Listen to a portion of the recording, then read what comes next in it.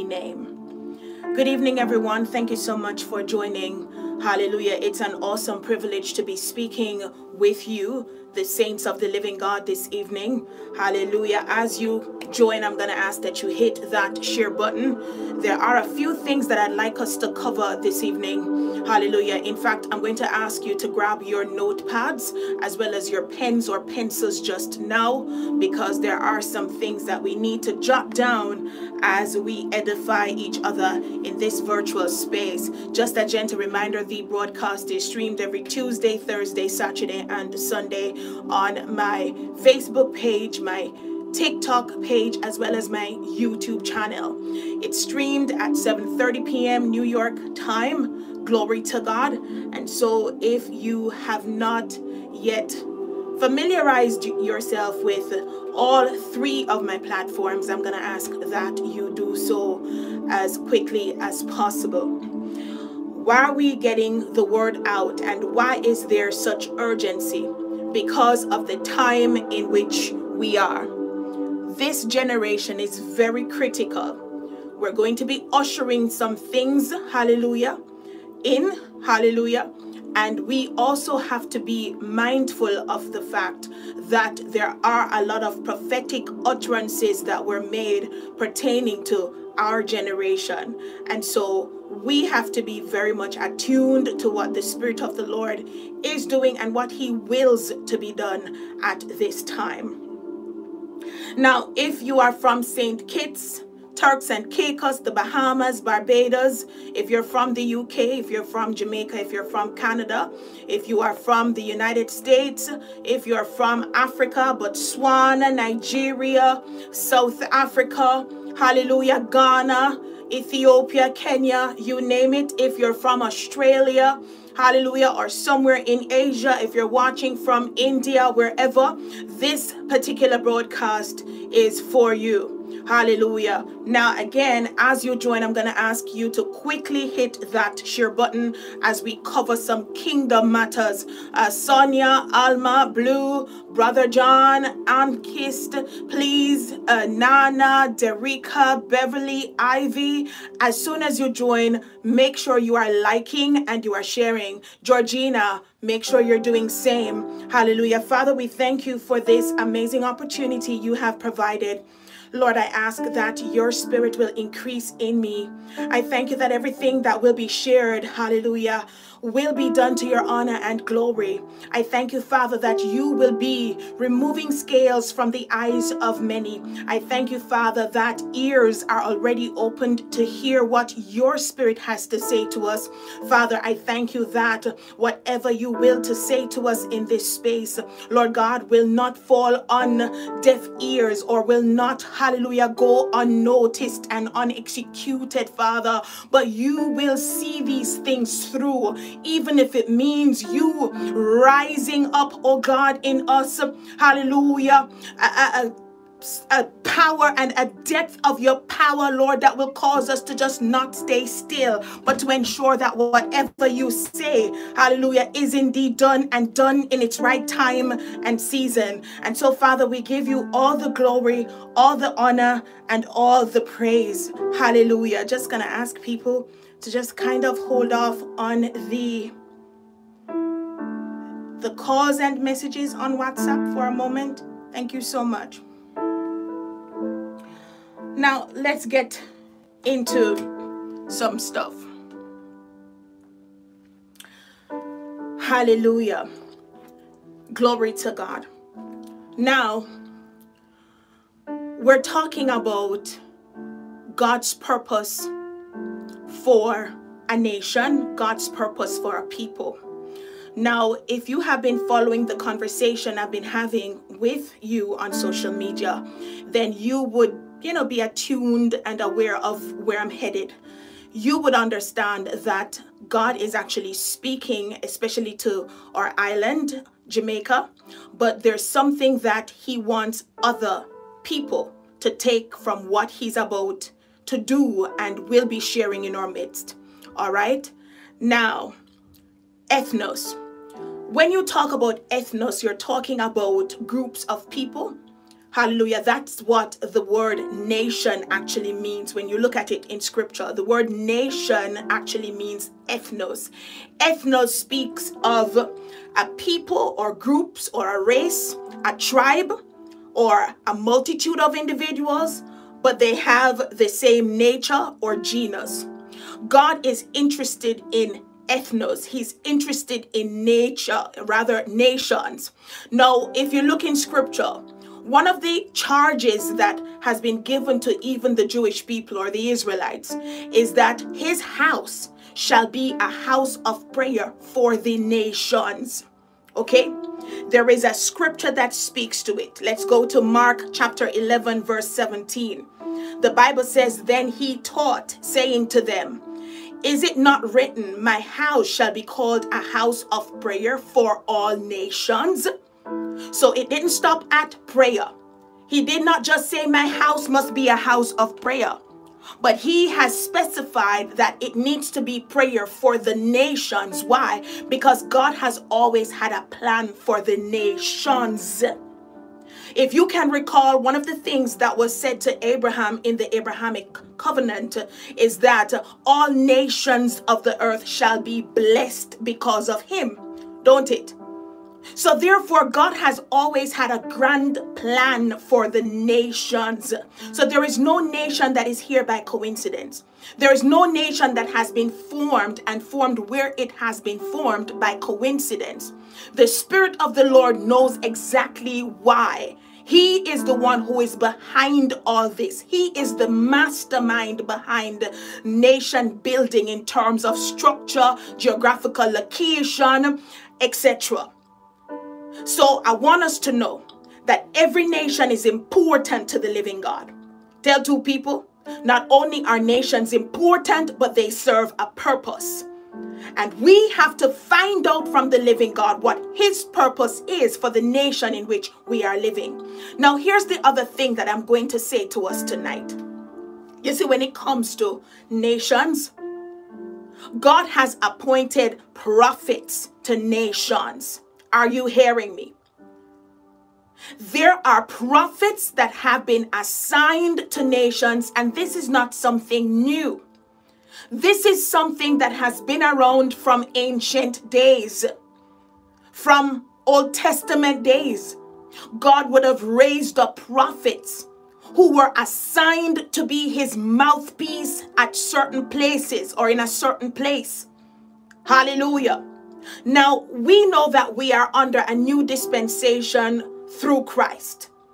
And we know that whereas, you know, a lot of things that would have been given to the prophet, a lot of instructions and so on that were given to the prophets and, and the heavy weight that was given to the prophets then might have been alleviated a little bit because of what Christ has done at the cross. Glory to God. Because now his spirit is being poured upon all flesh. And so we don't necessarily have to go through the prophet in order to get certain communication across when it comes to us and God.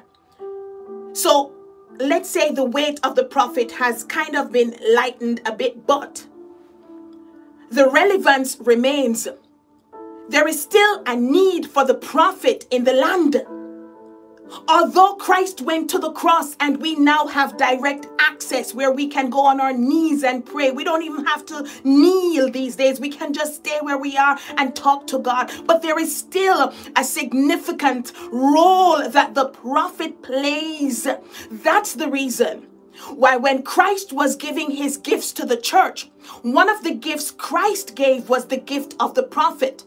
The Bible says, and he gave unto the church, this is according to Ephesians chapter 4, the apostles, the prophets, the evangelists, the pastors and teachers. Prophets were listed among those. So, just in case we thought that God has been done away with the, the idea of having prophets, it cannot be.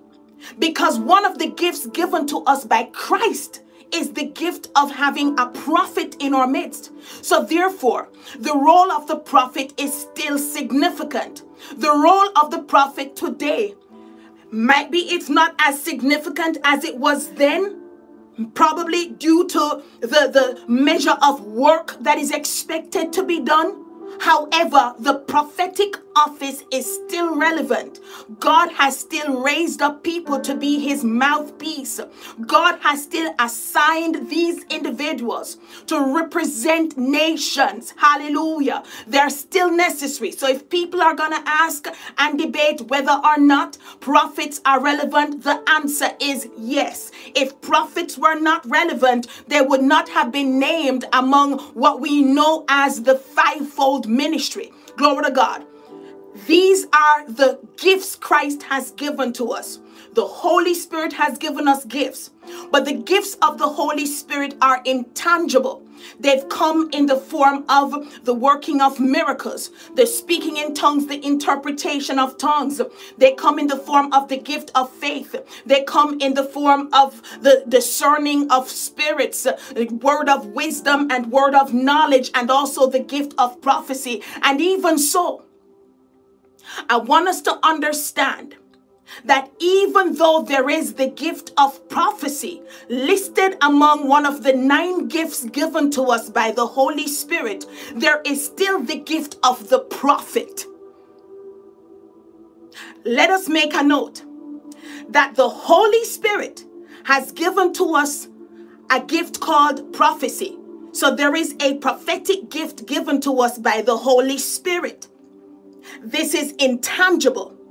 But I want us to realize in the same breath that Christ, on the other hand, another member of the Godhead, has also given to us gifts. Whereas the Holy Spirit has given us nine gifts, Christ has given us five, or if you want to call it four, fine. Why four? Because many will argue that the pastor and the teacher go together. Whether you want to separate them or put them together, the same scripture we're referring to in Ephesians chapter 4. So the Holy Spirit has given us how many gifts? Nine. Christ has given us how many? Five. But the Holy Spirit's gifts are intangible, while Christ's gifts come in the form of a person. So the pastor is a gift from Christ. Whenever you see your pastor, tell yourself, I'm looking at a gift that God has given to us through Christ. Whenever you see the apostle, know this that that's a gift that God gave to the church. Okay? Whenever you see the evangelist, see the evangelist as a gift. Christ has given he or she to the church. Are you hearing me? And that is why we don't talk to them just anyhow. That is why we don't scandalize them and disrespect them anyhow. Because these are gifts that have been given. Now, let me go back to the point that I was establishing earlier. The prophet is a gift. Even as we have a prophetic gift from the Holy Ghost, we have to realize that there is also the gift of the prophet himself, the person, the personality. This gift was given to us by Christ.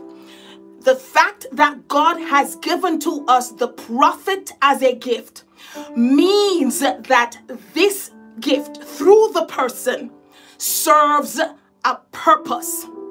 And I'm here to say to us that when it comes to ethnos, nations, the prophet serves an important role and purpose in any nation.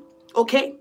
There is a prophet assigned to each nation. There might be several or a few, but I want to believe that there are main prophets assigned to a particular territory just like it was back in the time of the Old Testament. Are you hearing me? There was Haggai, there was Isaiah. What you would realize is that many of these prophets, whether they were major prophets or minor prophets, sometimes their ministries were occurring in parallel. They were occurring at the same time. So Haggai had a ministry while Jeremiah had a ministry. Are you hearing me? So it is possible that more than one prophet can be assigned to the same nation. But I want us to understand that there usually is a main prophet at a certain time in the history of that nation or in the life of that nation. Where are we going with this? If it is that we know that God has assigned prophets to nations. What do I mean? Let me break it down because I love to break down stuff, don't it? That means if you live in the Cayman Islands, there is a prophet assigned to that island. If you live in the Turks and Caicos, there is a prophet assigned to that island. Hallelujah. If you live in the Bahamas, there is at least one prophet assigned to that territory. Are you hearing me? And if God has assigned a prophet to a territory, we, as the people who reside in that territory, have a responsibility to know who the individual is or who these individuals are. Are you hearing me? Now, let me show you something even through the book of First Samuel. Now, let's turn our Bibles quickly to First Samuel chapter 3. And we're going to be reading from verse 19 to 20. That's First Samuel 3 19 to 20. Please just put this in the comments as you join Hallelujah. You're welcome to hit that share button. In fact, if you have not yet done so, please go ahead and do that for the benefit of our friends who need to hear. Of course, you know, because of the various uh, attacks from all these scammers pretending to be Shadeen, they have somewhat divided up uh, those people who usually join because now they have all these groups called Shadeen Anglin, Prayer Line, Shadeen Anglin, this and all that. And I do not associate with any of those things. Okay. And so as a result, people's attention, of course, this is what the enemy has always wanted, has been diverted. And so every time we come, please just make sure you share, share, share so that they can see pop up somewhere on their feed, okay?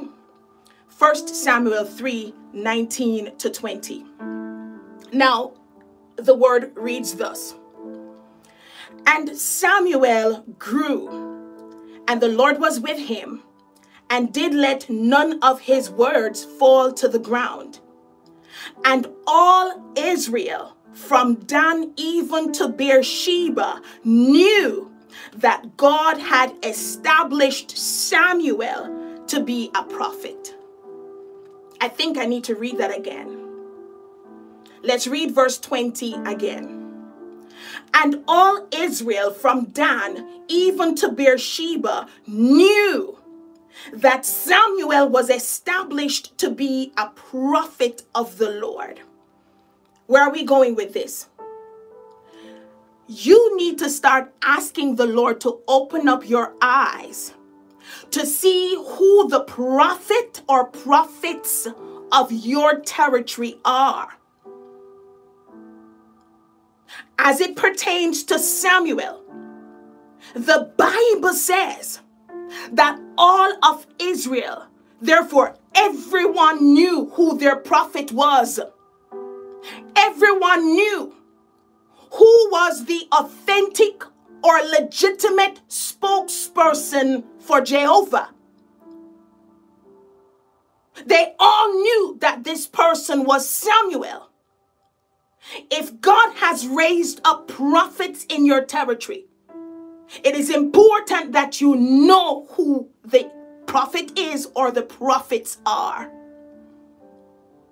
Sometimes you will have to depend on getting a revelation because these individuals will not necessarily come out and say, I am a prophet of the Lord. No. Sometimes it's going to take you getting a divine revelation from the Holy Spirit Himself so that you may know who these people are.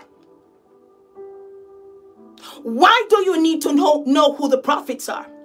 Because it is through the minds of the prophets that Jehovah will reveal unto that nation his plans at a certain time or point.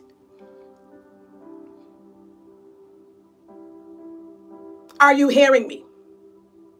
Remember, God has a plan for ethnos, nations. And along the way, he will speak certain things. He will show certain things.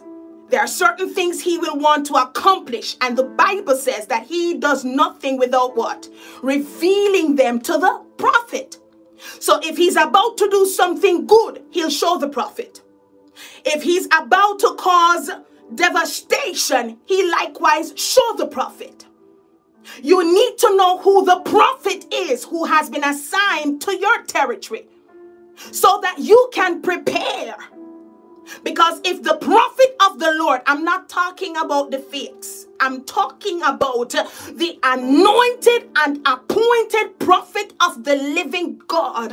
Hallelujah. One who has been commissioned by Christ and has been given to the church as a gift, according to Ephesians 4, verse 11.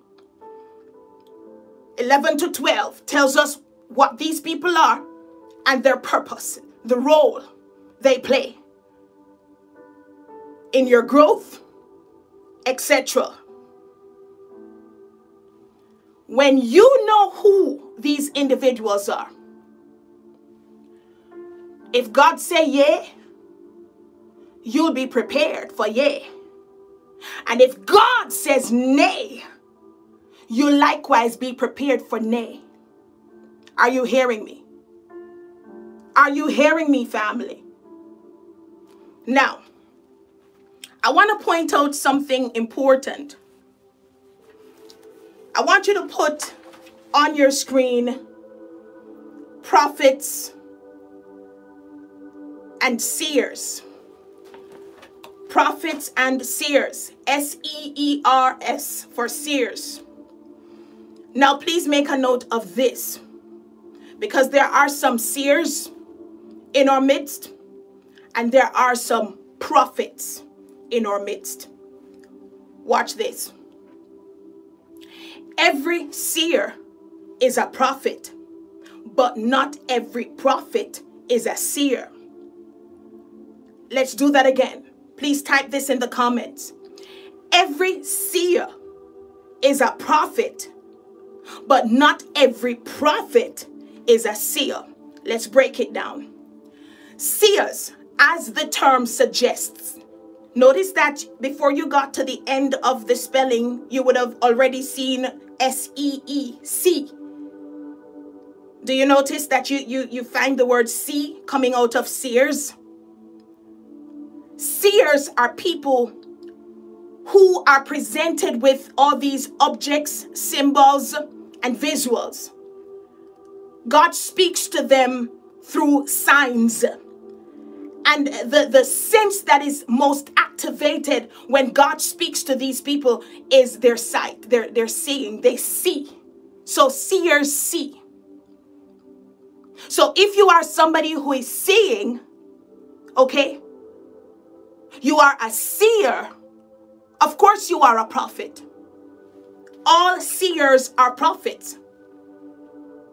Remember, God does not speak to all of us the same way. God not, does not speak to all prophets in the same way. There are some prophets who'll be seeing, while there'll be some prophets who'll be hearing. And you know what? There are some prophets who are who are sometimes neither seeing nor hearing, but but when they get on the spot, when when they open up their mouths, it's just flowing right on the spot. See, before they got to the location, they didn't even know that they were going to say anything. Before they arrived, they didn't know what to say. They were called upon to minister or they were sent to a particular church. God just said, go to Waltham Park Church today. The individual just simply follows God's instructions and ends up in the congregation at Waltham Park Church. They don't know why they were sent there. The Lord did not say, say so and so. Nothing was said, nothing was instructed except to go there. But the moment the individual arises or arrives, the words just start to flow. Thus saith the Lord, XYZ, XYZ. Thus saith the Lord, your pastor is ill, and within few days he will be taken away from you. Begin to prepare for a second pastor or a replacement, etc. Thus saith the Lord, XYZ. Thus saith the Lord, the altar needs to be cleansed. Thus saith the Lord, the intercessors need to be meeting more often. Thus saith the Lord, XYZ. The person did not plan all of this and didn't hear these things before they arrived. But right on the spot, the words just started coming. So they never got a chance to see nor hear. So there are some prophets who flow like that. But whether you see or hear, or you don't, or you, you have all three experiences, they're prophets. But as we're saying, whereas all seers are prophets, not all prophets are seers. Because if God speaks to you through your hearing, whenever God is giving you a word, He causes you to hear in the spirit. You don't really see. You don't see. He he uses your ear. So if God wants to communicate something to you about Shadeen Anglin, He opens up your ears and you hear Him. You don't see. You hear. You are not a seer, but you're a prophet.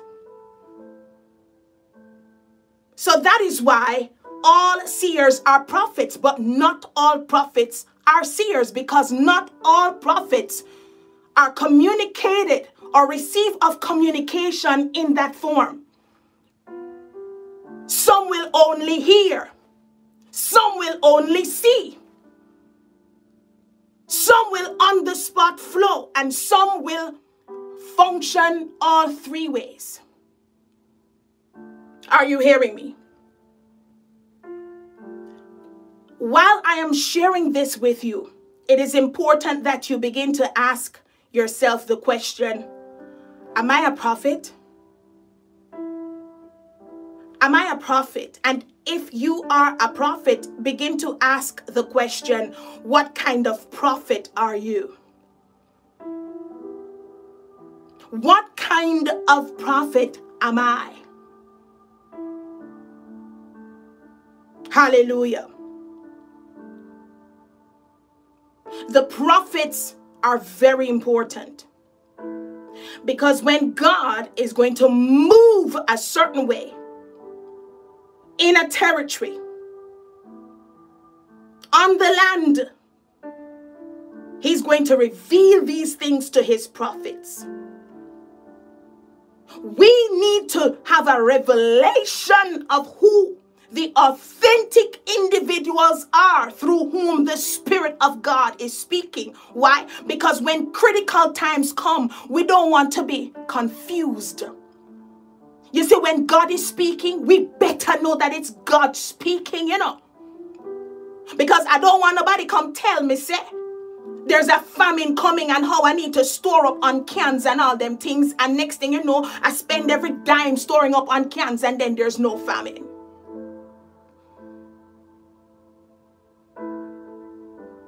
I don't want nobody tell me said there's going to be a volcano up here and everybody start to flee from rural Jamaica to, to, to Kingston, Jamaica, and there you have it, congestion and confusion. And then no volcano comes. So it's important that we get our revelation. Tell two people we need a revelation of the prophet or prophets of our land. The other thing that I'll say is this, and it's tying to what I mentioned earlier about the people of Israel when it came to knowing Samuel and understanding his ministry. Leaders of a country ought to know who the prophets of the land are. Leaders of a country need to know who the prophets are. Did you know that in the Old Testament, okay, that the kings usually knew who God's prophets were? Did you know that the kings in the Old Testament usually had knowledge of who the prophet of the land was. There was a king who said about Elisha, Are you the one who's causing trouble in our land? Why did he say such a thing to God's servant? Because every time this king was planning something that was out of order and alignment, it was revealed to the prophet. And if revealed to the prophet, the prophet has the power to intercept what needs to be intercepted and loose what needs to be loosed.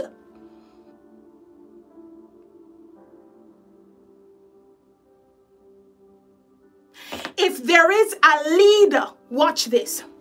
If there is a leader, okay, who does not have a clue about the prophet assigned to that land, then that leader is walking in the path of Saul. And do you know what happened to Saul's? See, Saul did not know who Samuel was. The Bible says Saul did not know Samuel. Everybody knew Samuel. How come he did not? And when you are a Saul who don't know your Samuel, guess what happens? You're going to find yourself in some places you ought not to be.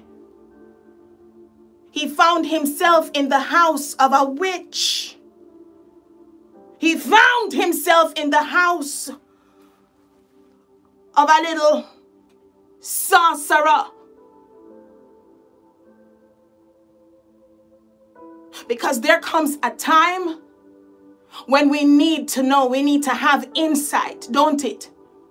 There comes a time when we want to understand what is in the heart of God toward us as individuals. And, and when it comes to leaders, the leader wants to know what God is saying about the land and people he's leading. If you don't know who your Samuel is, you're going to end up consulting with a witch, a wizard, or a sorcerer. And some will pose in the name of the Lord. And they'll give bad counsel. They'll give deceitful counsel. And if the counsel you are receiving is incorrect or faulty, then your leadership will also be faulty. Anybody understands? So the people need to know who their Samuel is. And the leader, the king, needs to know as well.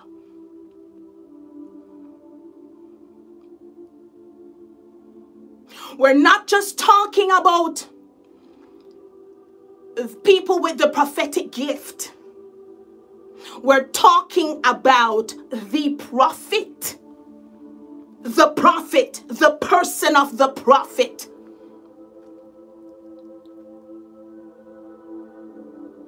Let me tell you something about the prophet. You see the prophet? Let me just say this. Do not have impractical and unrealistic expectations of the prophet. A prophet is just a prophet. A prophet is a prophet. In other words, my God, this is so powerful. You know what? Let's just go to Ephesians chapter 4 quickly. Hallelujah. Glory to God. And he gave some apostles, prophets, some evangelists, and some pastors and teachers Listen, you see the prophet? don't expect the prophet to be evangelizing, like traveling on, on the bus and, and going out handing out tracts every day. I'm not saying that he cannot do that. But we have to understand that sometimes when we don't understand the role and purpose of an individual, and especially as it pertains to the gift of Christ, one falling, hallelujah, among these five groups listed here, if we don't understand their role and their function, we're going to have some expectations of these individuals that will not be met.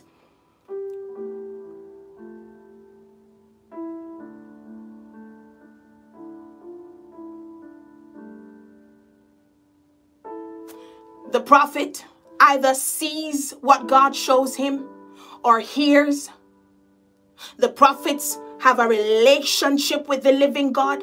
In fact, all members, okay, of the fivefold, what we deem as the fivefold, as listed here in Ephesians 4, verse 11, they ought to have a relationship with the living God. Are you hearing me? But sometimes when we come out of our box and we step out of our lane,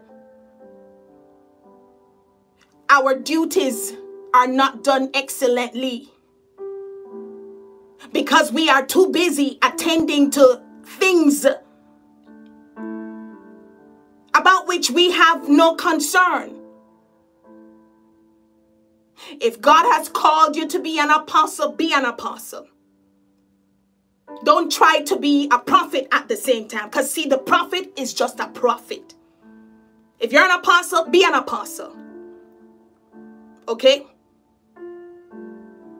If you're a pastor, be a pastor. Let me let me just say this to you, my wonderful friends and family watching me. My name is Shadeen Anglin and I'm not a pastor. I'm not a pastor. I'm not a pastor. Do not expect me to carry out pastoral duties. I'm not called as a pastor. I'm not. Tell two people, Shadeen is not a pastor. That's not my office. Okay? I respect pastors so much. I salute every pastor watching this broadcast. I love you. I appreciate you. We love you. We need you. But I am not a pastor.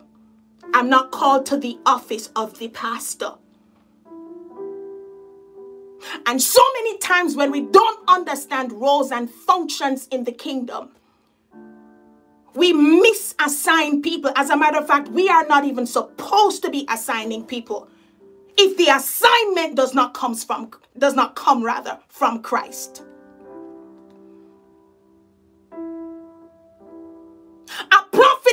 Be a pastor. So if you are prophet Mark, you better remain prophet Mark. Don't make them appoint you to go be no pastor if Jesus has called you to be prophet. Because see, let me tell you something. You think pastor work easy? You think to be a shepherd, you think anybody can just get up and be a shepherd? Tell two people, in order for you to be a shepherd, you got to have the heart of a shepherd. So if you're going to sit in this seat to be called a pastor, you better make sure that you have the heart of one. If you're a prophet, be a prophet. Stop trying to be a pastor. Because you better understand that as part of the responsibility of a pastor is he has to have watch over the sheep. If you have no time for the sheep and no love for the sheep, do not accept that ordination to be a prophet. We miss it. We, we, we, we're doing a mismatch and it, it's not going to work. Are you hearing me, family? Is there anyone who understands or you don't understand? Shiba yikuribiota. Ripandi kasandi shataya koto ribikata. Let's not try to go and take the role on or take on the role because the, the position sounds good. Some things that pastors are able to endure, me I tell you, prophet can't endure. Some things that pastor has to endure.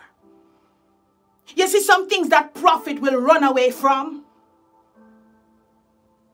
Prophet comes into church and delivers the word that he get he got or is supposed to deliver. And him gone home. Maybe while he's delivering the word, deliverance is taking place. And some people are being ministered to. Maybe some people are crying and are weak and etc. When prophet can take up him bag and gone home because he did his part, which was to release the word. You think the pastor can take up bag and go lock door and gone home and yeah, gonna eat Sunday dinner? Huh?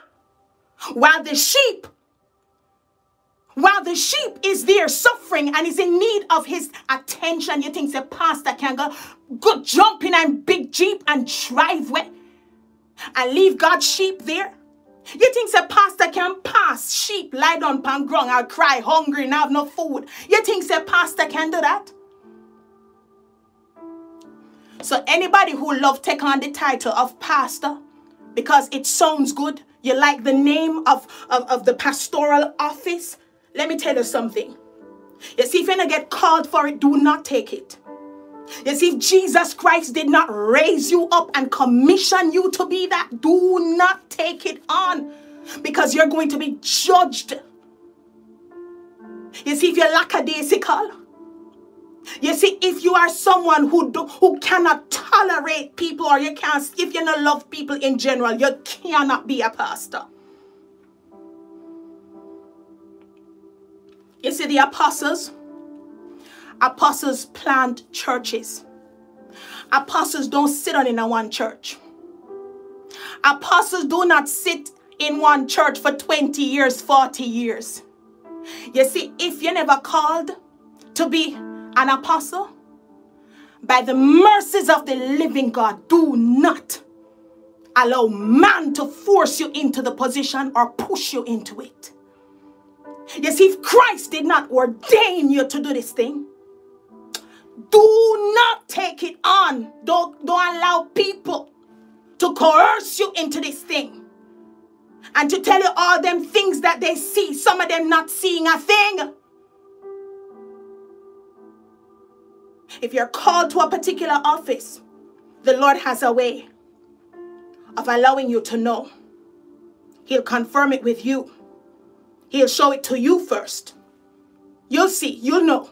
So when somebody says, Shanique, I'm feeling very strongly that the Lord wants you to be an apostle. You're supposed to say, My spirit bears witness.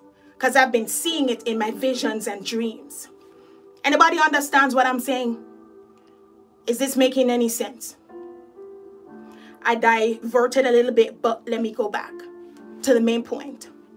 If there's a prophet in the land, you are supposed to know who that prophet is or who they are if there are more than one.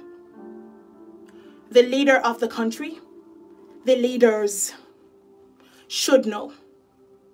Should know. Now,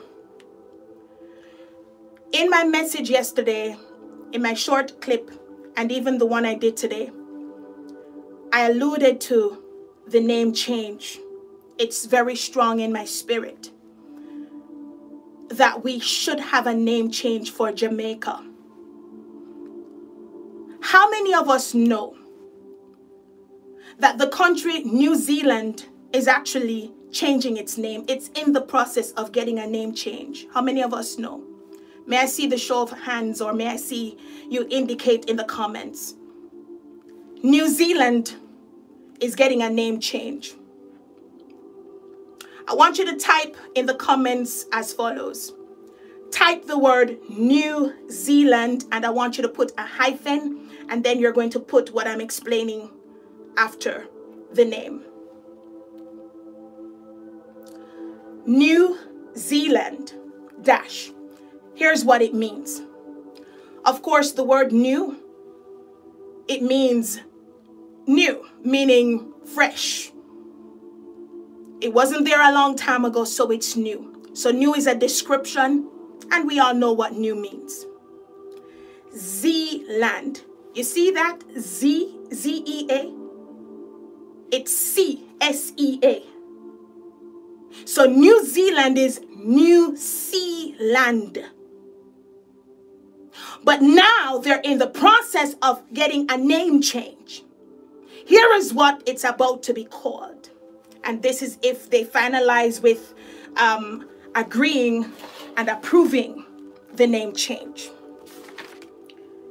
Please type this word in the comments and also put the hyphen for the definition. A O T E A R O A. I think I was too fast. Let me do that again. A O T E A R O A. Aotearoa. Aotearoa. Aotearoa. New Zealand is about to be called Aotearoa. What does Aotearoa mean? Aotearoa means the land of the long white cloud. Hallelujah. The land of the long white cloud. Now let's interpret that prophets. I did put in the title calling all intercessors and prophets. We're engaging now. Let's do this together. We're breaking it down. Now, white clouds or white cloud. White in scripture usually represents what? Purity. Amen. White speaks to, you know, being cleansed, etc. We recall that even when, let's refer to a random scripture, Second Chronicles chapter 5. In that account, King Solomon was speaking about the ceremony that was had when he was opening up the temple for the first time. He talked about how the singers they were dressed in white.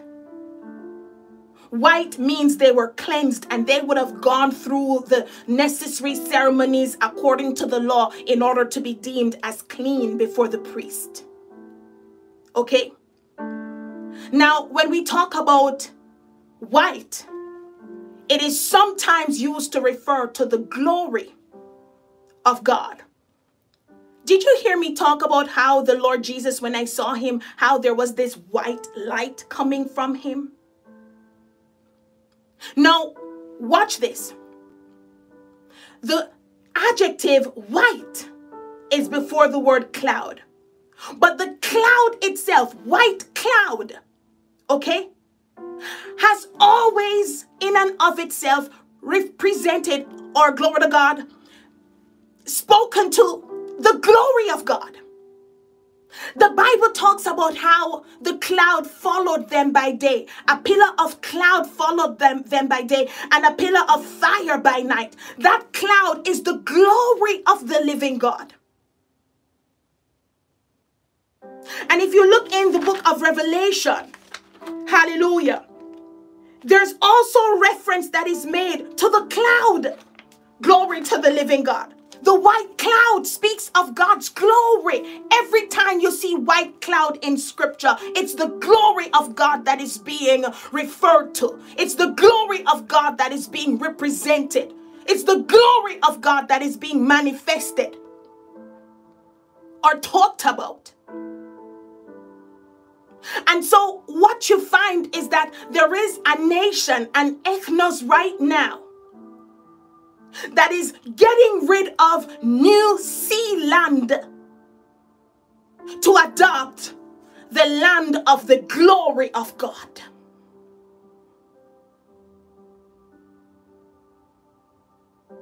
If New Zealand can change its name, so can Jamaica. If you have a name that's doing nothing for you, change your name.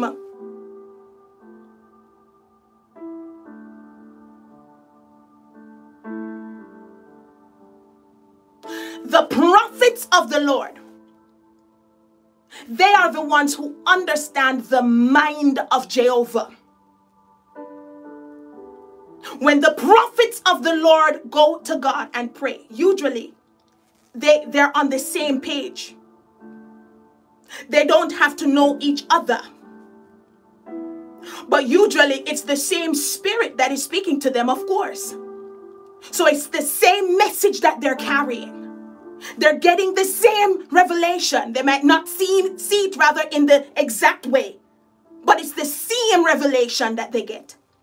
Who needs to see it is seeing it. Who needs to hear it is hearing it, but it's the same revelation.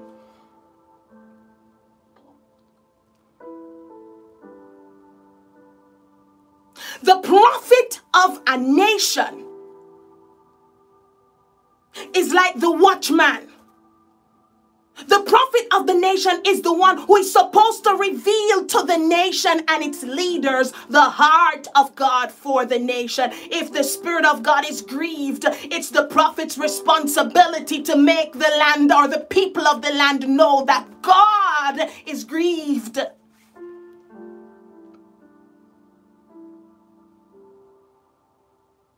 If he wants to change the name of the nation, he will deposit it into the spirit of the prophet. And if there are more than one prophet, and I'm saying to you that they will all get the revelation.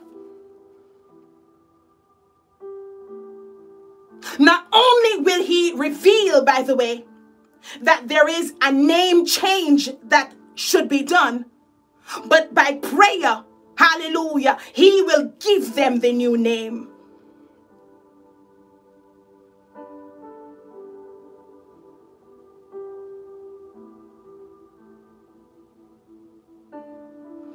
Intercessors. Some of you have settled with the reference of intercessor you identify with being an intercessor. But I want to say to many of you who are listening, some of you who have been called intercessors, you are not just intercessors, but some of you, you are actually prophets. Again, I'm not talking about those of you who have the gift of prophecy. There are way more people who have the gift of prophecy than there are prophets. A church can be filled with people who have the gift of prophecy, but has just one prophet. Are you hearing me? I'm not talking about those people with the gift. I'm talking about the few people who God has ordained as prophets. This is who they are. Right now, as we speak, let me show you something that is so unfortunate. Right now, as we speak, okay, there is a prophet somewhere, okay, who has a cigar in his mouth, who is talking them bad man talk with his friends right now. Yo, man, and I'm yeah and them swag and them yeah. In the realm of the spirit, the devil knows who he is. It's just he who does not yet know.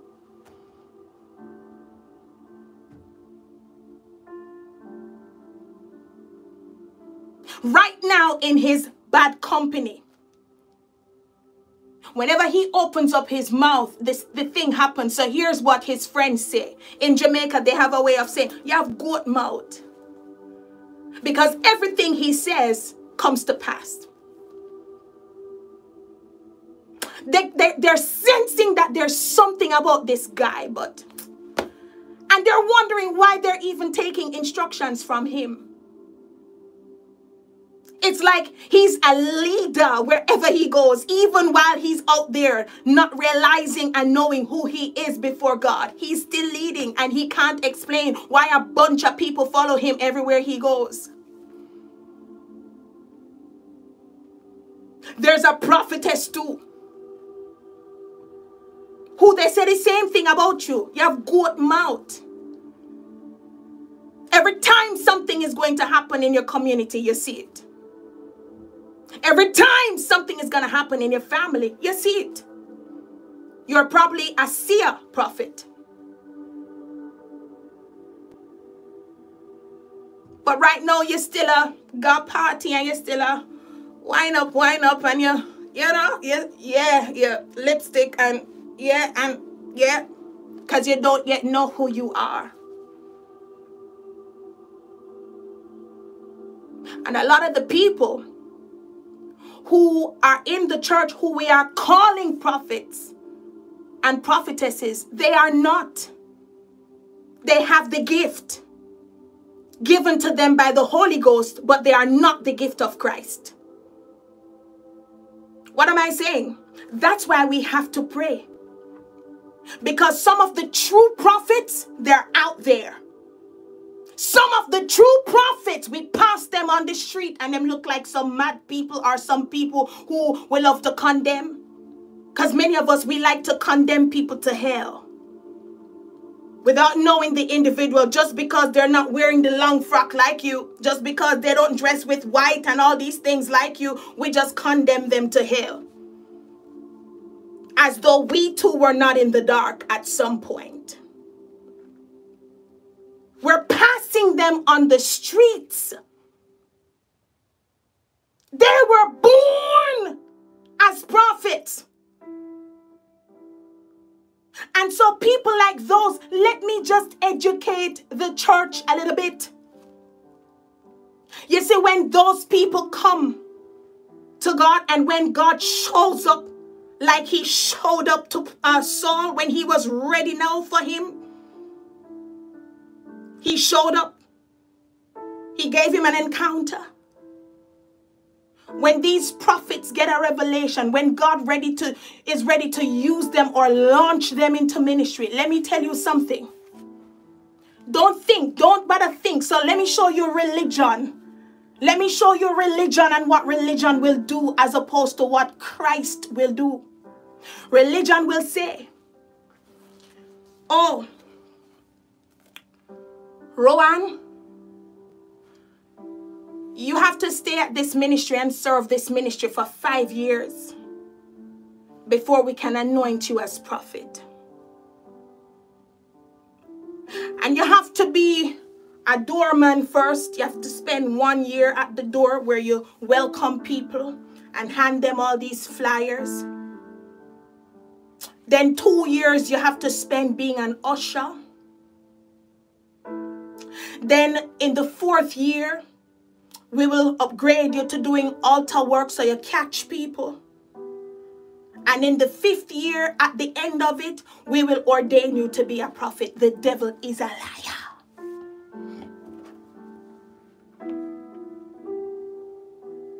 He's walking with the, the word of God in his belly. He's walking, hallelujah, with instructions in his belly. He's walking with the fire when God fills Brother Rowan with his spirit. When God fills him with his power, he's ready for ministry. He's a prophet.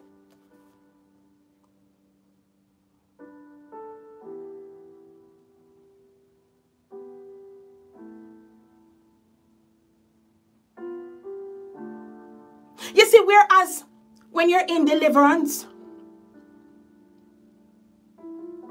it will take training and maturity. But you know what? Maturity is needed in every gift.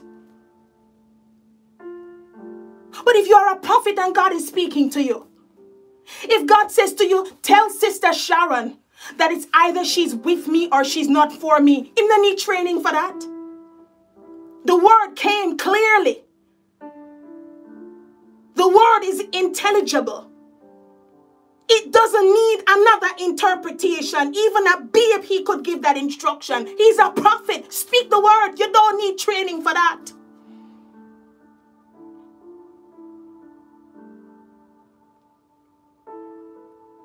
As a prophet over time, his character will need to be built. His integrity and all those things, just like with the other gifts the people gifts I'm speaking about now. Ephesians 4:11. But when you are called as a prophet, for instance, you are just a prophet.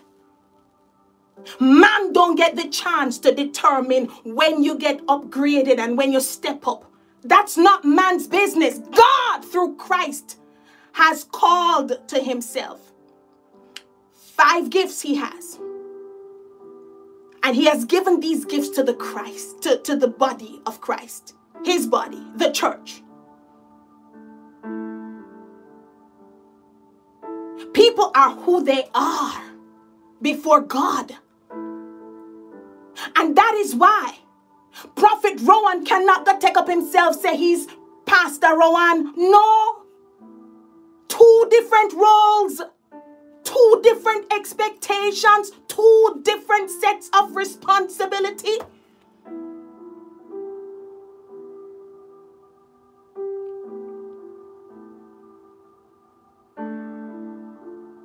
This is why, for instance, people, you can find that you can confide in some people who are just young. Maybe you, you have somebody who you see God in the person and the person is young. You feel like you can tell them your whole life and just be open and honest. You don't you, you don't feel like you need to hide anything because you feel like this person is confidential and you feel like this person has a heart to hear your story and, and to strengthen you and encourage you and pray with you. And this person is young. But when it comes to speaking with Elder Wright, you don't feel the same way. Every time you should open up to Elder Wright, it's like you're, you're hesitating. You have reservations because you, you don't feel the same way you do when you're talking to Brother Timothy. Could it be that Brother Timothy is a pastor?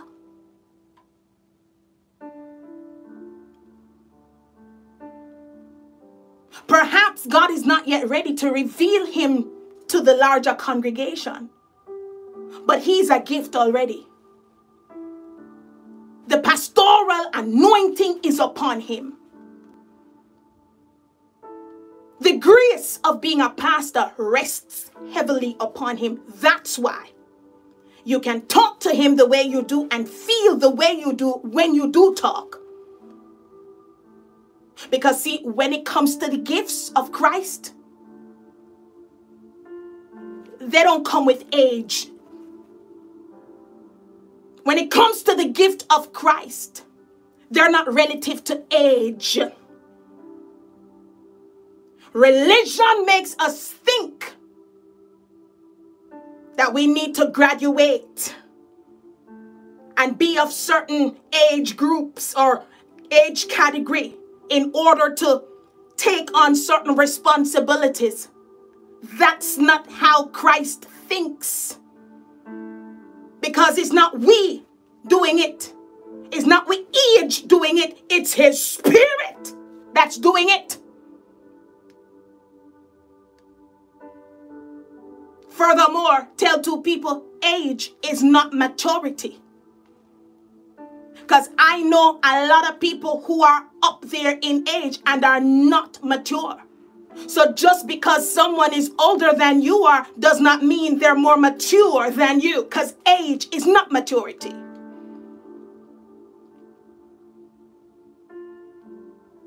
You will come across people who are younger than you, who are more mature than you are. Are you hearing me?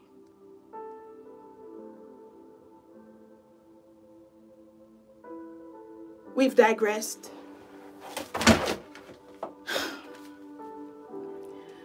Are we learning anything today? Are we learning? Intercessors. Wherever you are, wherever you're watching, begin to ask God to reveal to you who the prophet is or prophets are on your land.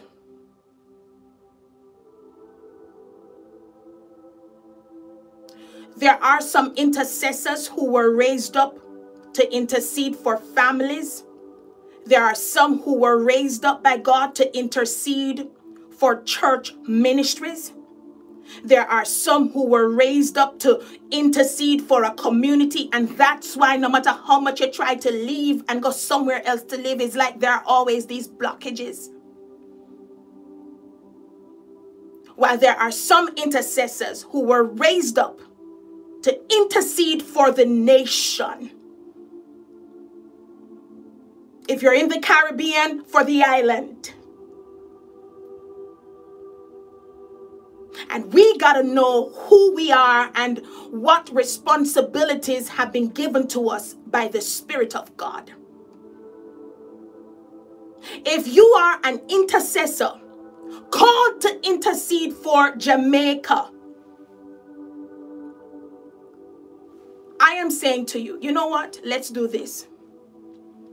If you know, you know this you know this. Flesh and blood did not reveal this to you. It's the Spirit of God Himself.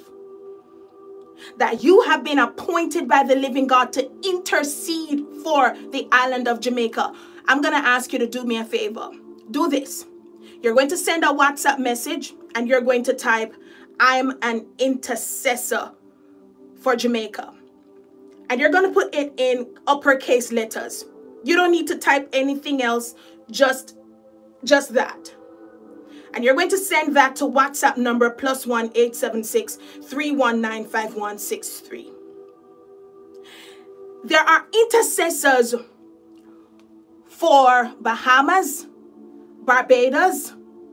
There are intercessors for Guyana, Suriname, Canada, the UK, the USA. The USA is huge. There are intercessors in states, different states. There are intercessors for the towns. By the way, let me say this to you. Intercessors are supposed to be working closely with prophets.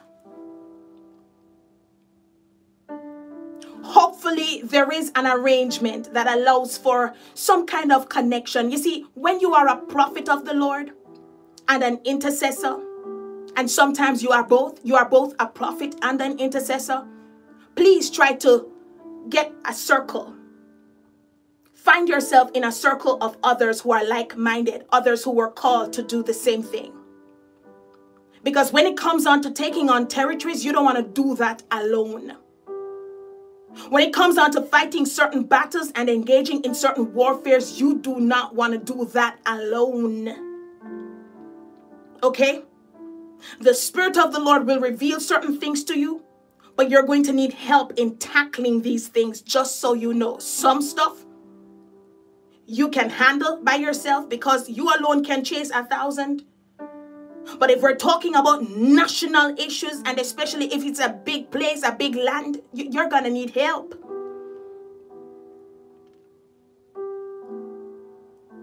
Prophets let me just say this to you. One of your roles is this. So there are many roles that you have. But I will say this to you. If you are a prophet to a nation, you have a responsibility to speak the will of God for that nation, it needs to be revealed through you. Okay? You are the one who will make the people and the leader of the people know what Jehovah is saying to that nation. And you also have a role to play in praying through the will of God.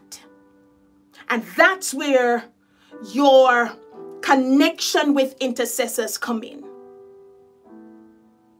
That's where you interacting with and associating with intercessors come in.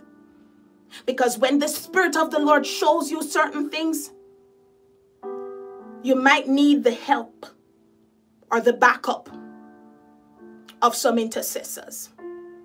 This, let me just say, is not going to be what is happening in all instances or what is required in all instances. However, there will be times when, depending on the magnitude or depth of the situation, you might need to call for help. Okay? We need to know. We need to start asking God to give us a revelation of who the prophet is. Because you see, if, let me just be very practical. You see, if an earthquake is going to come in your territory come summer or come June, if you live in the Grand Cayman, or if you live in Haiti, and an earthquake is truly going to come, I'm sure you'd love to know this long before the earthquake happens. Don't it? Because whatever you would need to do to either escape the earthquake or prevent it, because perhaps your prayer can help God to stop it or change his mind. You want to do it, so you want to know.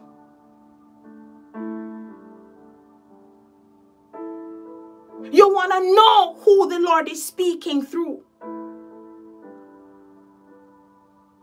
It shouldn't be that God is planning to shake a country, but somebody is there telling you, oh, it's going to be great in the summer.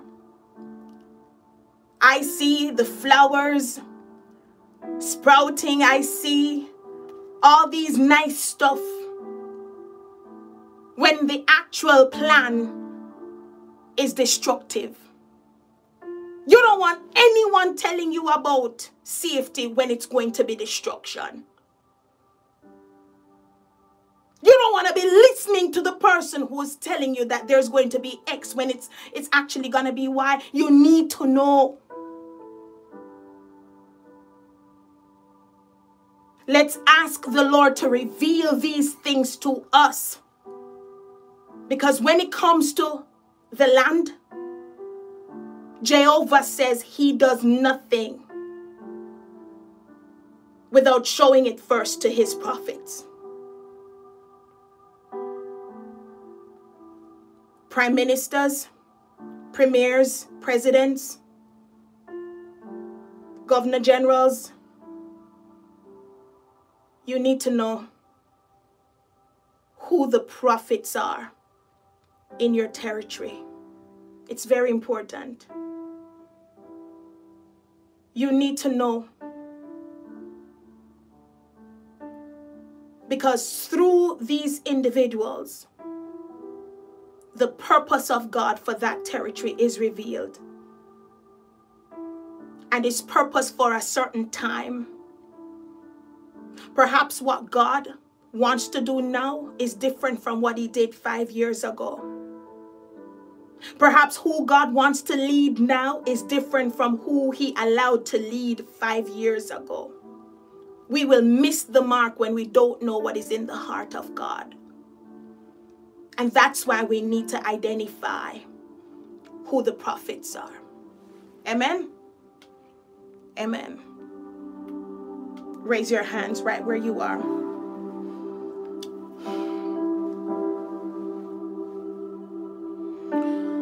Hallelujah. So, Father, we thank you, Lord, for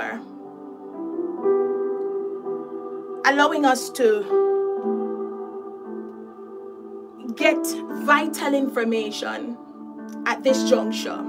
You know why, Father. By the way, there's a reason I've asked that the intercessors reach out. There's a reason for it, just so you know. there's a reason. I will not reveal what the reason is, but there is a reason. Not everything can be revealed online or in this particular context. Because, you know, truth be told, a lot of people who are watching, I can just see right through you. You watch with the wrong motive. There are many people who are here, they're just spying.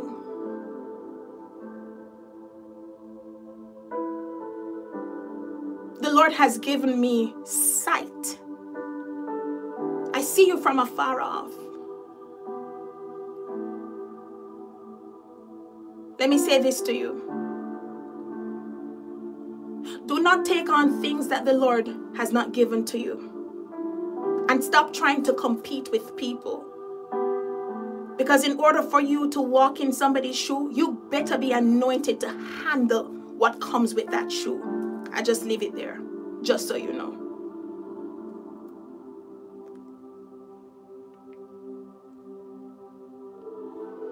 Father, I thank you for the many hearts that have been touched tonight by the sword of the Spirit. I thank you that many people are beginning to question their purpose.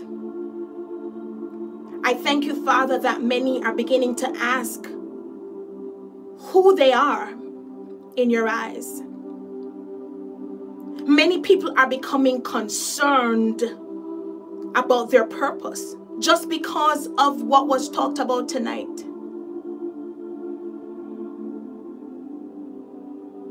I thank you, Lord, for the stirring.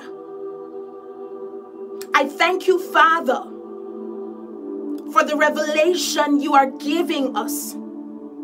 I thank you for the awakening that is occurring in this atmosphere because of what was spoken tonight. Someone is being challenged to rise to the occasion. The Spirit of the Lord, let me just say this, is not pleased with a lot of things that are happening in Jamaica. Intercessors, I want to hear from you. I'm led to do something.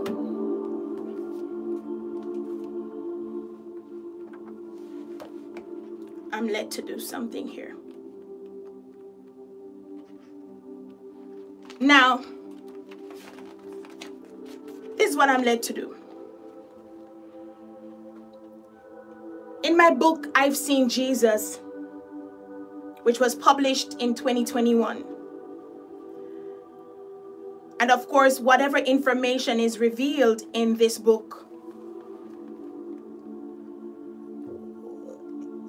is pertaining to things that I would have seen, heard, and experienced, of course, before 2021, that year. In fact, I started writing in 2020. So everything in here happened before that time, including this that I'm about to read. On page 135 of my book, I've Seen Jesus. On page 135. Under the theme Visions, Dreams, and Out of Body Experiences, this is chapter 7, one of my favorites. There is a sub theme here called Deception from International Prophets. The Lord was speaking to me at this time when He was training me for ministry. And I was having a lot of experiences, a lot of visions, a lot of trances. When I heard, I heard mostly in trances, or if He came and He opened up my ears and caused me to hear something audibly. I was having out of body experiences too. And these experiences, let me just say, sometimes were very frightening. All right. Now, the first time the Lord showed me something about the island, I documented it here in my book, I've Seen Jesus. And I will read it for you. It reads thus I will now share with you visions concerning Jamaica and the world. The two visions I will be sharing are the ones that the Holy Spirit has inspired me to share, the second of which is yet to be fulfilled. The first vision is a direct message to leaders and heads of Christian ministries right across the island. In the vision, I saw an aircraft circling over the island. It was white as snow. My spirit was soon taken into the aircraft, where I saw several international prophets who had been invited to minister on the island. The interesting thing about these prophets is that around the time of having the vision, they were all involved in some kind of scandal or controversy based on reports in the media. I watched the plane until it crashed into a heap of dirt, killing a man on the spot. I asked the Holy Spirit to explain the vision. He said, Here's what the Holy Ghost said when I asked him to explain the vision to me. Again, I saw an airplane making circles over the island. And then, after making a, a few rounds, it crashed. It just suddenly came down. Okay? And crashed, and a man got killed. Here is the interpretation. This is what the Holy Ghost said. He said, Jamaicans have a soft spot for international ministers. They lean more towards them than their own. Many of these international speakers were not sent by me. Yet there is a high demand for them to speak to my people and to prophesy to my people. He continued, Jamaicans better be warned for a time of great deception by international ministers is coming. They will destroy many, rob many, and contaminate many. Let the people be warned.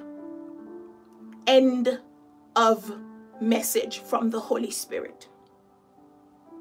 What can I say? He that hath an ear, let him hear what the Spirit of the Lord has to say to the churches.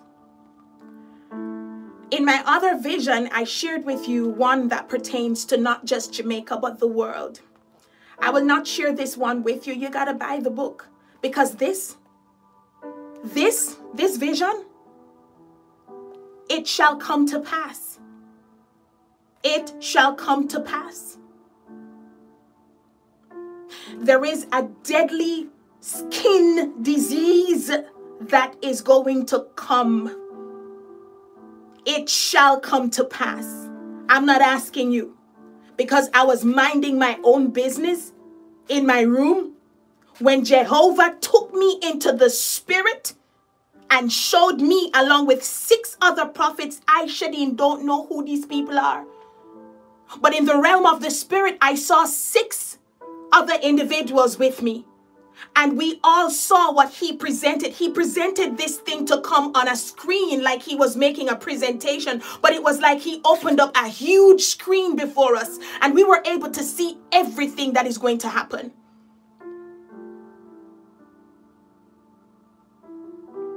Are you hearing?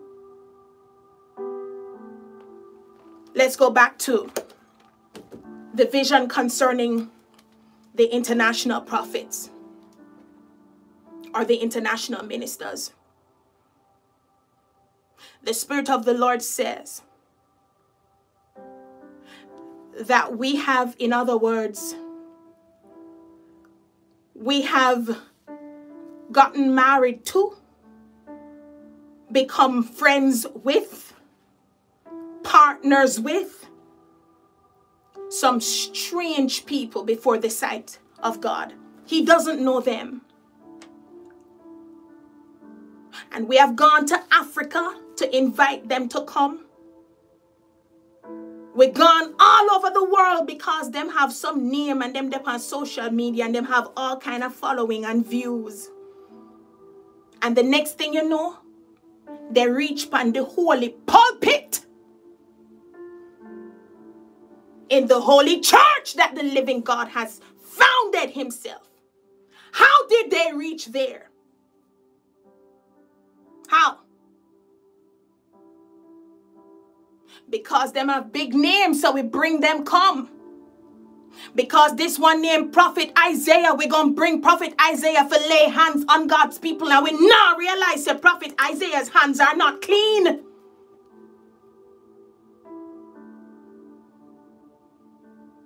Are you understand what I'm saying? So often because of the big names and because of the brand, we put these people in positions and allow them to do things that they were not qualified by God to do. They've desecrated his altar.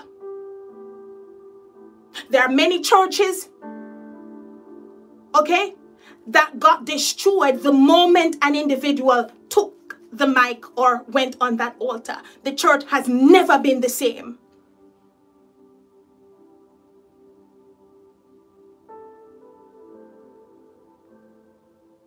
We are going out and are going beyond to ensure that we invite all these people.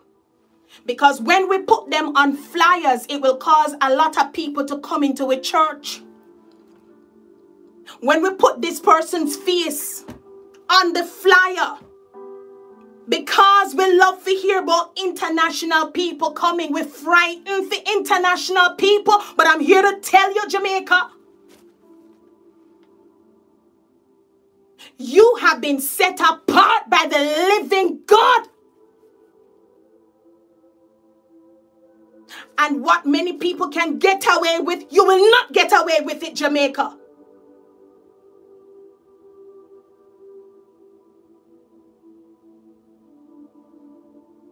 God has invested a lot in Jamaica. And let me tell you something, He's not going to sit there and allow us to wreck what He has built.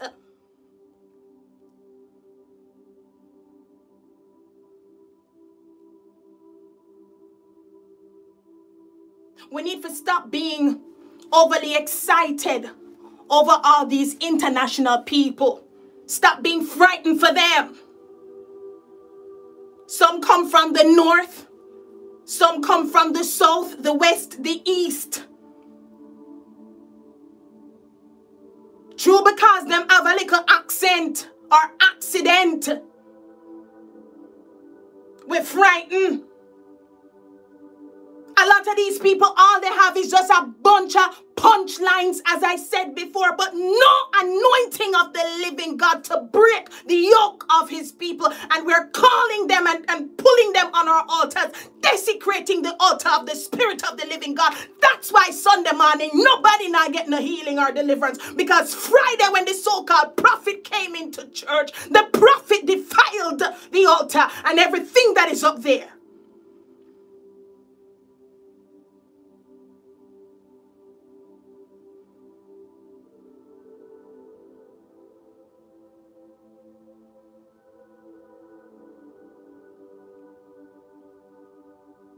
Ratoposhiki riando kusandi bari koto rebebe kasatayaya koto.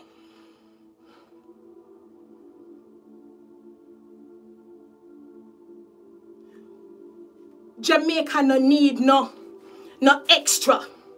Rakanda kituri bio shekenda rabasoto rokundiribiata.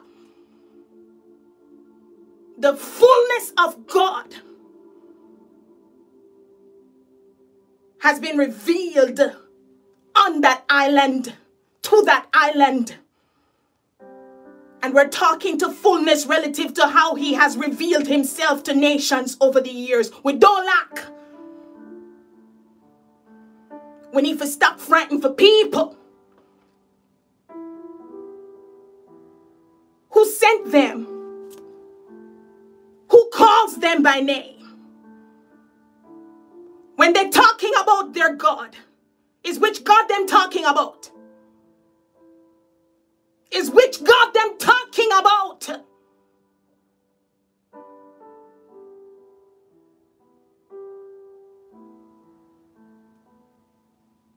We have enough speeches on our island. We hear enough speech. You want speech? Go parliament. We're full of speech. We don't want no more speech on the altar. Shandi kabo soto rebekata. We need the word rebe kusandi the altar. That's what we need on the altar. If it's lecture we need, we go school. If it's eloquent speaking that we need, we go on function.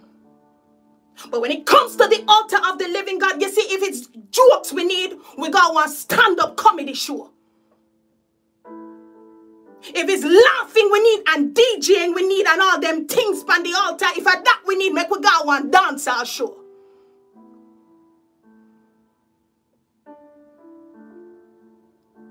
But you see, when we come in at the house of the living God, it's a place of holiness. And no man shall be glorified in that place. God is. God is. God is. He's the only one who's supposed to be exalted in that church. He's the only one who's supposed to be seen in that church and heard in that church.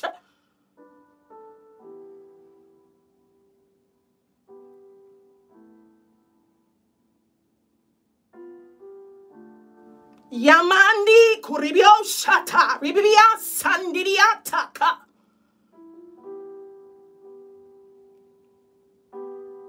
Nobody wants to see no fancy hairstyle. Nobody not have time to see no long fingernail with orange and pink and green. You see, anything where we are going up at the altar, you see if it gonna cause people to lose them focus, it'll distract people in the congregation. Listen to me now, we're not ready yet. We need to come at the Lord altar. Because right there, sir, you become the center of attention. And right there, sir, the fandangos them I cause the people them yeah, if just they all over the place. So they not hear no word because the focus is on you.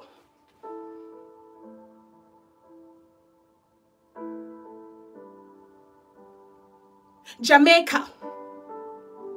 You see what other people will get away with, you not get away with it. Shande kasata yaboka. Because to whom much is given, much is required, saith the Lord.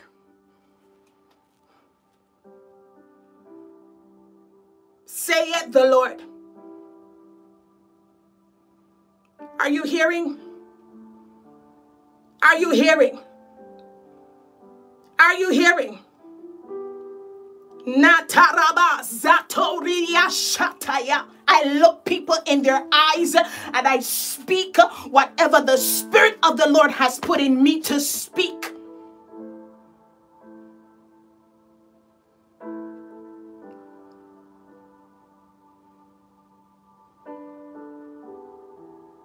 There's too much flesh the Lord's house. That's why we ain't seeing that the prophetess we're trying to get to come to the convention is not right. That's why we ain't seeing that the spirit that is operating behind Prophet Mark is a spirit of divination. We ain't seeing because there's so much flesh.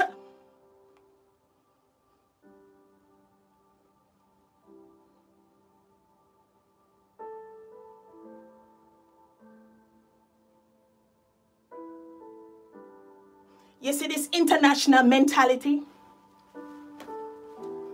You see this international mentality? If we don't fix it and get rid of it, we're going straight into judgment for it. And leaders who are calling these things forth or who are endorsing these things, we shall go into judgment before the living God for this. Because we are better off without a lot of these individuals. Many of them come, as the Lord says, to rob from your people or from His people. Yes, they're yours, but they're really His. Many have come to trick them. Many have come to steal and to contaminate their anointing. Some of them, the moment they claim that they're praying at the altar, it's like the, the, the, intercessor can't pray again. Something just wrong ever since that person came to church. Ever since that person came to the so called ministry, some of you have no prayer life anymore. Some of you can't see anymore. Ever since them claim them put them hand upon you and I put olive oil. But instead of you seeing more, you become blind. You ain't seeing anything. You're not dreaming again. You're not remembering what changed. Because what you didn't know is that it is a divine opposing as a prophet or a prophetess. Are you hearing me?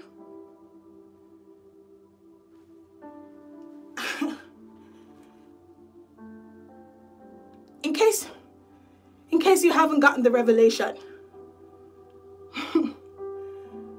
I'm not a people pleaser. I speak whatever the Lord tells me to speak. And I don't budge.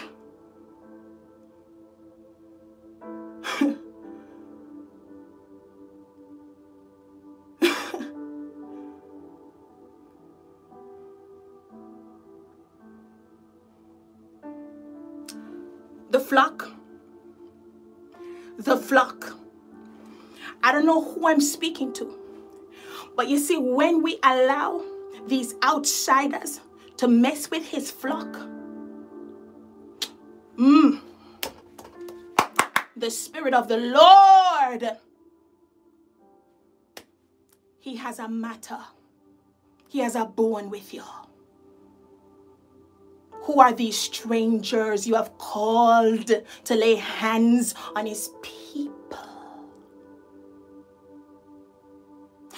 Are these strangers you have put upon his holy altar?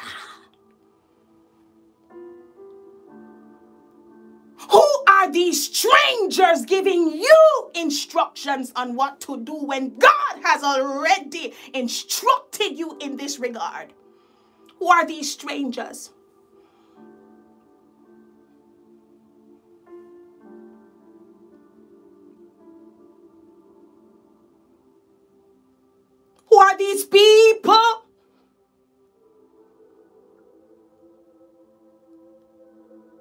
Jamaica?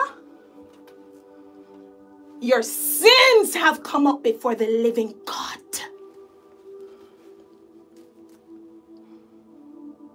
We don't lack the knowledge of God. We don't lack the presence of God because it was right in my room in Jamaica that I saw the Lord. The second time, that is. Right in Jamaica, I saw him the first time. So God has something very special going on between him and Jamaica.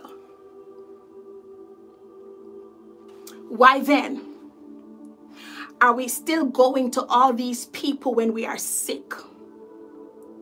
Why? Why are we still getting up in the early mornings to travel from the western part of the island to the eastern part because we want to see a man and the man is not Jesus? Why? These are the wickedness, and let me tell you something. You see, a lot of the people who are doing these things, they identify as Christians. People who should know better. They are the ones who are participating in a lot of these practices. Let me tell you something.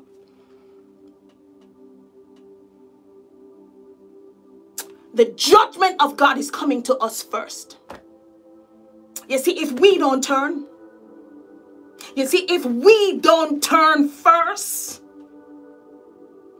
tell two people is we first have to turn. And if we don't turn before the living God, his wrath is going to be felt. There's going to be a shaking shakitayabokosoto. There will be. There will be. if we do not get our acts together. God has invested too much. And to whom much is given, much is required. So make we stay the farm fool ourselves. Let me tell you something lastly. His name is Elkanah. Elkanah. Elkanah is his name. Do you know what that means? He's a jealous God. He's jealous. He's jealous. Elkanah is his name. Elkanah's wrath is going to be felt if we don't get our acts together soon. Hallelujah. Hallelujah. So, Father, let your will and purpose be accomplished. We give you all the glory. We give you all the praise. Thank you for speaking to us. Thank you for refreshing our spirits with your word. Thank you, Father.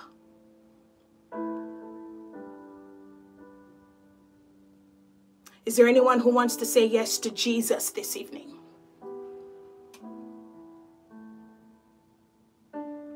Is there anyone who wants to say yes to Jesus? And let me just say this to people.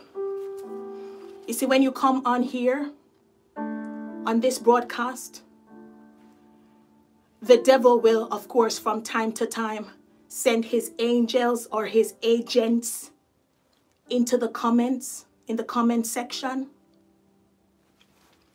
I, Shadeen, I'm not distracted by them.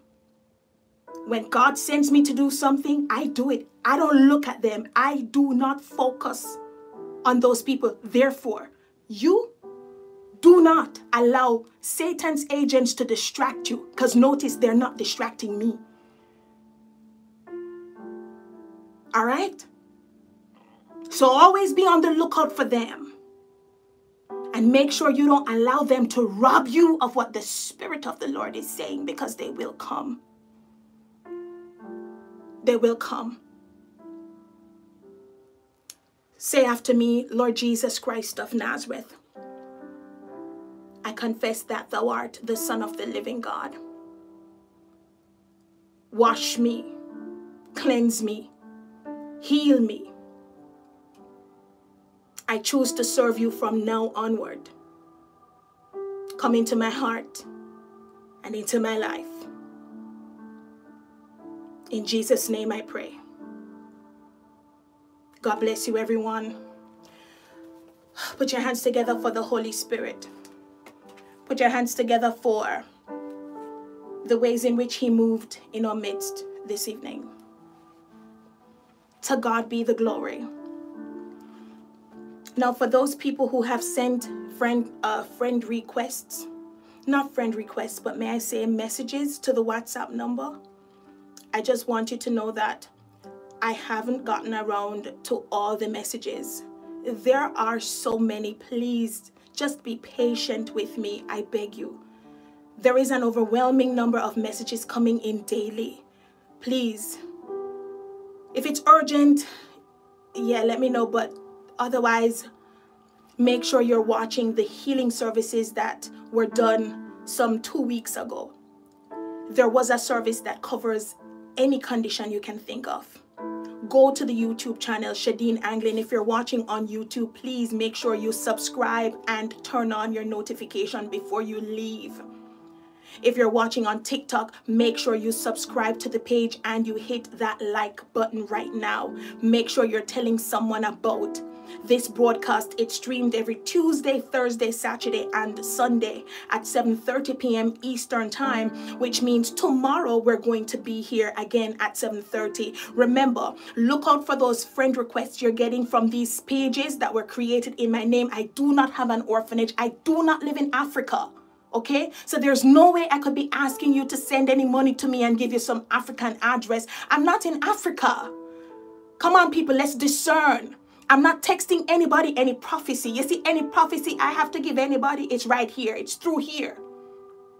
If you don't hear me advertise a number, if it's a strange number, you never hear me talk about it, it's not me. It's the scammers who have created these fraudulent pages pretending to be me. They're imposters, so look out for them. Okay? Now, the section of the website that says make a donation, it's down. It's been down for the last few hours. Those of you who normally tithe through that method, for the next few days, please just send me the WhatsApp and I'll give you the Zelle information instead that section is down for now. They're working on something, they're fixing something. So I thought I'd let you know. So, tithers, you know how to find me 876-319-5163 as a matter of fact if you are a tither of the ministry can you just send me a message with tither please? I want to know and i want to meet with you guys. Please thank you. God bless you. See you tomorrow at 7 30 p.m i love you. Again the whatsapp number plus one 876-319-5163 the other whatsapp number ending in 7272 is down a little bit so all messages will go to the one ending in 5163 for now. I love you all so much. See you tomorrow for another amazing word from the living God. God bless you. Woo.